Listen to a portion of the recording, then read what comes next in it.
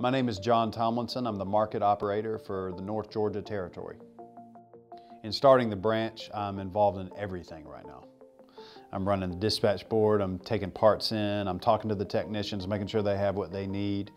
I'm talking to customers, uh, making sure to get quotes to them, making sure to help solve the problems that they're having, and, and just working every day to, to kind of build a team and foster the culture that Sam Service has already built. I didn't choose really any particular line of work. I chose people.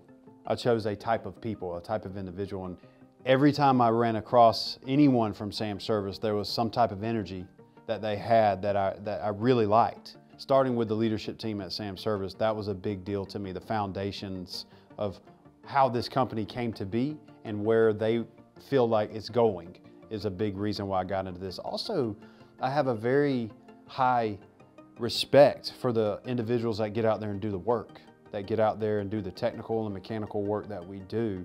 The, the people that make up SAM service as a whole, I have a whole lot of trust for those people. And I knew three years ago, I knew that if I ever went a different direction in my life, that I wanted SAM service to be in the picture of that. Core value number four, always learning, growing, and innovating. That, that is who I am as a human being. As a child, I'm sure that was complicated for my to be my parents. You know, I was always trying stuff and learning stuff and all that kind of stuff. But now I, I think just moving into this part of my life and in my career, I think it's going to be helpful to where Sam is headed and where I'm headed personally. So, man, in my free time, as long as I'm with my kids, as long as we're doing something outside and doing something active, I'm a happy man. I love it. I love being with my family. Uh, we do all kinds of stuff. Uh, being up here new to the North Georgia area, we're going to stay busy, but as long as I'm with them, that's what I look forward to. I'm inspired by change.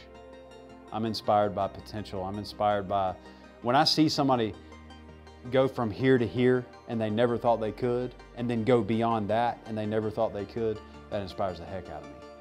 There's so many things in the world, there's so many accolades and achievements and, and trophies, which I love all of that stuff, and I have those things. Uh, but my relationship with the Lord is, uh, in my opinion, the greatest achievement and blessing that I have, that I will ever have in my life, uh, next to my family.